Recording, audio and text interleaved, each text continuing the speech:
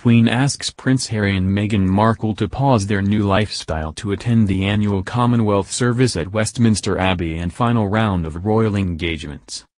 The Queen has requested Harry and Meghan attend the annual Commonwealth service with the rest of the royals next month.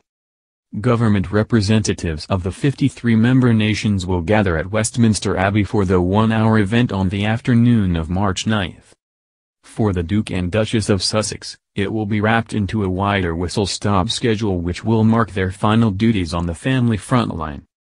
At last year's event, Meghan was heavily pregnant with now nine-month Archie, who will fly with his parents from Canada for their engagements, the Sunday Times reports. Her Majesty's invitation will see the couple press pause on their new pared-back lifestyle which has allowed them to profit their royal fame. On Thursday night they were keynote speakers at a star-studded JP Morgan conference which wealth experts believe could have netted them up to 1 million. Friends have told the newspaper the Queen is remarkably relaxed and unfazed by the couple's money-making ventures. Ronn Torossian, CEO of New York-based firm 5 Watts Public Relations, said he expects the couple to have made between $500,000 and $1 million. £387,000 and £775,000, from the appearance.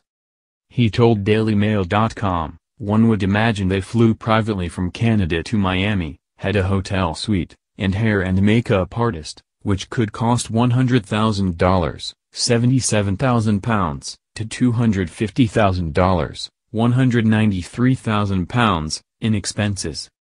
Harry and Meghan will be the highest paid speakers that exist on the corporate market. But royal courtiers are still in negotiations about how Harry and Meghan will be able to profit from the Sussex brand in the future, with any blueprint subject to an annual review in spring 2021. Next month's Commonwealth Day ceremony will likely see the Duke and Duchess reunite with William and Kate, with whom they are rumored to have fallen out.